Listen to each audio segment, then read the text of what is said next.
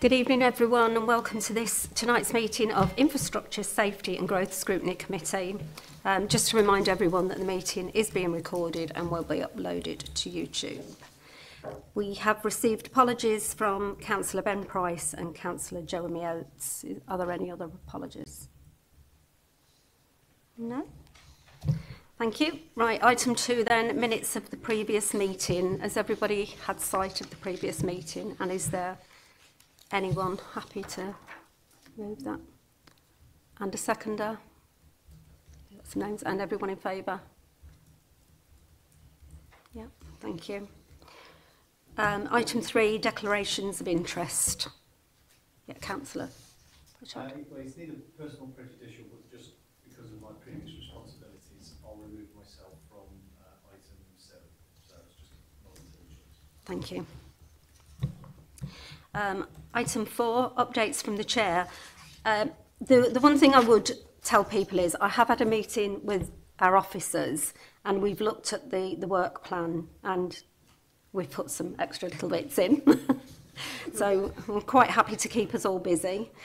Um, but we will be um, carrying on with that and we're looking at the work plans and I would like us to get some dates in the diary for the people who are on the work groups if we can do that at the end of the meeting, that would be useful.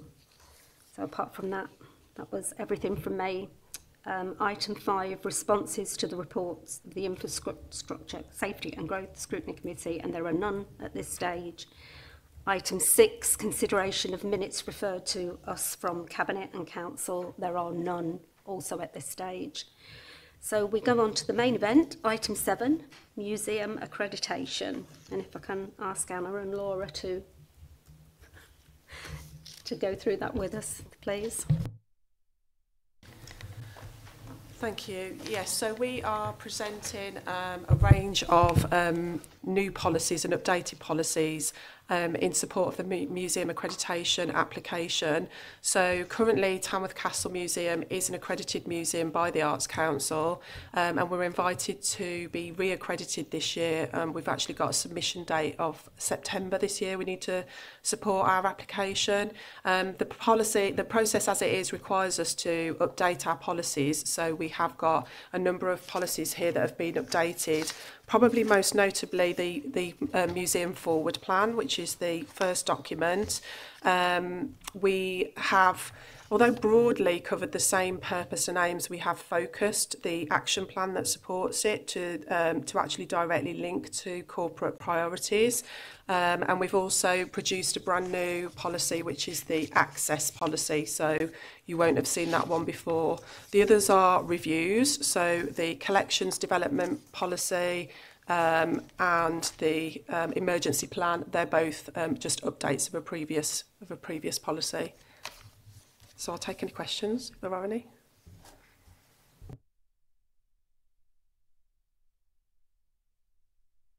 All right. Um, thank you. I was just wondering if um, part of the forward plan, I've, I've gone, gone through most of it, um, whether we'll be like liaising with like some of the heritage groups and the historic groups in Tamworth as well. Yeah, so I would, I think I've actually covered that under partnership working. So um, point one of the of the action plan is to work in partnership to actively engage our communities. So that's, um, I think I've actually, yeah, I have actually detailed local history and heritage groups under that.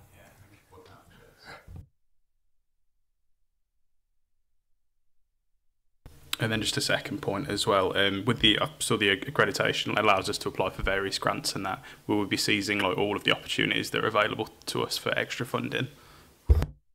Yeah, thank you. Um, accreditation is absolutely key to us being eligible for some of our grant funds. So we have previously applied on the basis of, of being an accredited museum. We are, we've just recently submitted an application for um, MEND, um, which is um, a repairs grant um, process with the Arts Council and that is specifically for accredited museums. Um, we've had some recommendations come back from Historic England with regards to that because obviously it relates primarily to the building um, but it's a big grant fund and you're right to highlight the importance of being accredited to access those, those funds. Councillor Claymore. Thank you, Chair. I just wanted to say thank you for such a in-depth report. Um, I have a special, special interest in the castle. Um, and I really don't have any questions. I just wanted to congratulate everybody on putting all these reports and reviews together because I do think they're very comprehensive and hence the reason probably why we don't have any questions. Thank you. Thank you. I think I would um, reiterate that it's it's a very comprehensive report. it's you know a lot of reading, but Yes. you have covered everything. We're really grateful for that. And Councillor Clark and I were lucky enough to go on the tour Yeah, up climb the the council, uh, up the castle, and that was phenomenal. Yeah, absolutely phenomenal. And we were so impressed with the people that we've got working there. Their, their knowledge and their passion for it was absolutely brilliant. Because, you know, that construction could just be seen as a day job, but for the people who were working there, they, they, you, they told you about the different types of bricks, the different mm. type of grout. They were so passionate about it that we know that at the end of that, we will end up with a really good job. So thank you for all the work that you've done in that and for finding those people to do Yeah, it. thank you. Thanks. Questions from anybody?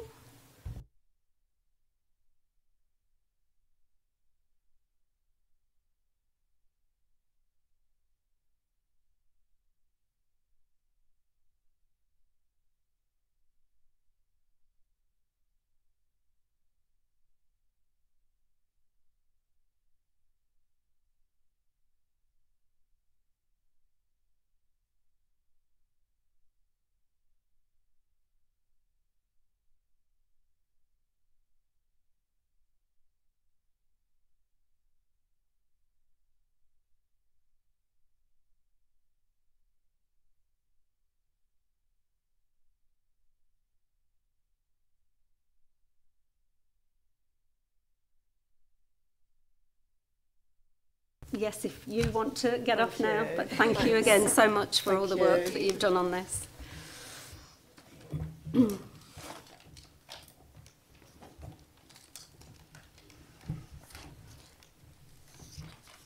So, item eight then is the forward plan, and we're we're going to look to review it. What what bits will we be looking at with well, this, I Leanne? say that there isn't.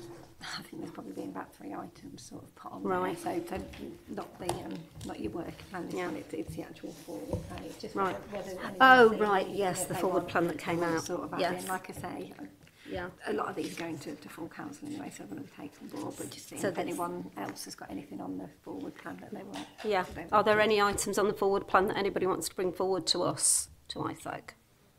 No. no. Right, thank you for that then. So the scrutiny committee work plan, or working group updates. Oh, this was the bit we were going to talk about, wasn't it?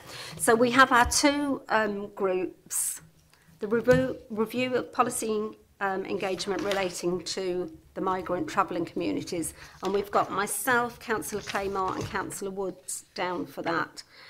I wonder, um, I've just been speaking to Leanne about whether we because being new, I'll play the new girl again, um, whether we shut down completely for August or whether we would be able to perhaps get um, this move in in August. Um, so my other two members of that, would you be happy to have a meeting go into the diary in August? Yes, yes, Chair. Um, uh, yeah, I yeah. could do August. Um, probably the end of August would suit me better. But I'm just wondering whether um, what the aims of it are now because I know that the policy in council is now being formulated so yeah. um, so what what would be the the aim of the the working groups I think it, it it's about us making sure that it works really because some of us are new to this and think we need to revisit it and make sure that it is working because it does some stuff doesn't seem to be working especially at the moment for Councillor Clement so I'm quite keen to look at it and make sure we're doing all that we should be doing under um, government guidance, and uh, yeah, just make sure that we are on the ball with it and we're not missing something that might stop all this happening. So if, if everyone's happy to, to carry on with that, if we, I mean, it might only take one meeting and we'll, we'll know exactly where we are with it and what we need to bring forward. Um, just, just, I, sons today and she did say she was happy because obviously yourself and, and councillor would um, and knew obviously and her councillor came over at the day but she mm. is happy to sort of have a meet she said whether oh, right. wanted to yeah know, if, if we make that out uh, yeah that would be I, brilliant I was just saying um, I, was, I was speaking to, to Joe Sands today obviously councillor Wood and councillor Dean wouldn't have been at the update and things that we had so she did say she was happy to sort of come along and you know and an update as well sort of with what, what's in place at the moment for, for you So guys. if we, if we use that as our first working group meeting and then we'll, we'll know exactly where we are. So the, the other working group that we'd got was facilities for H, HGV drivers in Tamworth and that was um, Councillor Price, Councillor Clements and Councillor Daniels. Um, did you want to take a lead on this, Tina?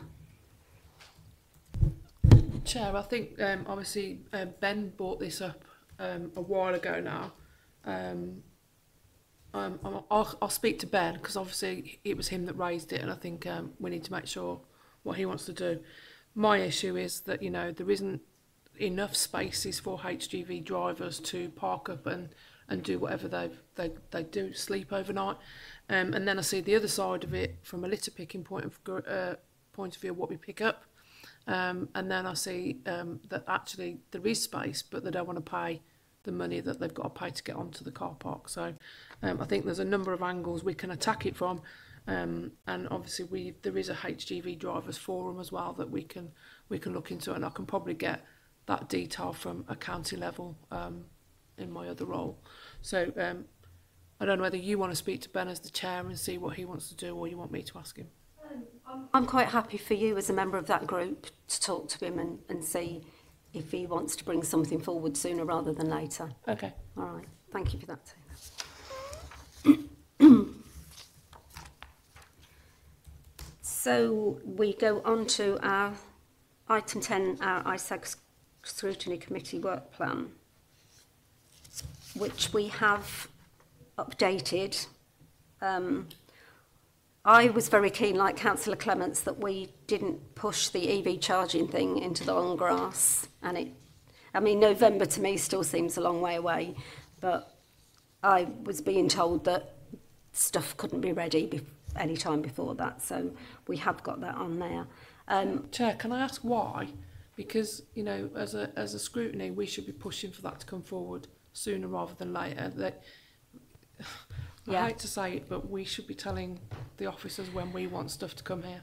if, I suppose my, my problem with that was in my conversation, if I wasn't going to get what I needed any earlier, then there didn't seem much point. But I'm quite happy to go back and say we as a committee would like it. Um, because November, if we go back into the cycle of starting again in September, that's two meetings down the road, isn't it? So I'll see if I can move that. Can you? Yeah, Are you able to make a note and I'll, I'll ask if that can change. Is there anything anybody else would like to see on the work plan that we haven't already got? Councillor Clark. Thank you, Chair. Um, I'm still not quite happy with the council house repairs policy being um, TBC. Uh, TBC. Um, if we could have, I say it doesn't have to be immediate because I know having that, that um, meeting in September where all the data is being presented, but if we could run that um, that agenda item alongside the meeting that we're having on that, I think it'd be a good time to have it. And you know, the sooner we can analyse the policy, the, the faster we can decide what action to take. I think we're, we're conscious that some of the other scrutiny committees are doing pieces of work on this. So this might be something the chairs are going to meet. And I think this is something we need to be trying to work out about where where it comes as a whole or if those different elements do need further scrutinisation in individual um, meetings. But it is does seem to be looming large, so it is something that needs proper scrutinisation. And if it needs to be broken down into the three scrutiny committees, I'm quite happy for that to, to happen.